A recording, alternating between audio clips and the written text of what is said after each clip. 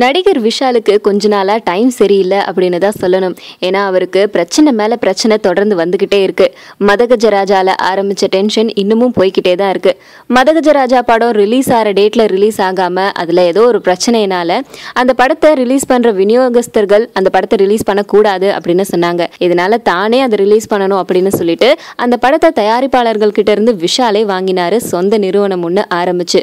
ஆனால் அதுலேயும் பிரச்சனைகள் வர அந்த படத்தை திரும்பவும் தயாரிப்பு கிட்டேயே கொடுத்துட்டாரு. அந்த படத்தோடைய ரிலீஸ் டேட் இன்னமும் தெரிவிக்கப்படல. இதுக்கு இடையில இவருக்கு இன்னொரு டென்ஷன் வந்து இவருடைய காஸ்ட்லி மொபைலை உடைக்கிற ரேஞ்சுக்கு போயிருக்கு. இவர் நடிச்சிட்டு இருக்க இன்னொரு படம் தான் பாண்டிய நாடு. இந்த படத்தை இவர் தயாரிக்கிறது மட்டும் இல்லாம இந்த படத்துல ஹீரோவாவும் நடிச்சிட்டு இருக்காரு இதனுடைய ஷூட்டிங் நடந்துட்டு இருக்கிற நேரத்துல ஏதோ டென்ஷன் காரணமா பிபி திரும்பவும் ஏறிடுச்சு. அதனால இவர் கையில இருந்த காஸ்ட்லி மொபைலை தூக்கி போட்டு உடைச்சிட்டாராம். இதே மாதிரி மதகஜராஜா படம் ரிலீஸ்லயும் நிறைய பிரச்சனை வந்து நிறைய டென்ஷன் வந்து இவருக்கு பிபி வந்ததுனால இவர் ஹாஸ்பிட்டலில் அட்மிட் பண்ணியிருந்தாங்க. ரெண்டு நாள் சிகிச்சைக்கு அப்புறம் திரும்பினவர் திரும்பவும் பிபி வந்து இந்த மாதிரி பிரச்சனைக்குள்ளார ஆயிட்டாரு. விஷாலுக்கு எப்போதான் இந்த பிரச்சனை போகும் இவருடைய படங்கள் முன்னாடி மாதிரி பிரச்சனையே இல்லாமல் எப்போ ரிலீஸ் ஆகும் அப்படின்னு இவருடைய ரசிகர்கள் எல்லாருமே எதிர்பார்த்துட்டு இருக்காங்க.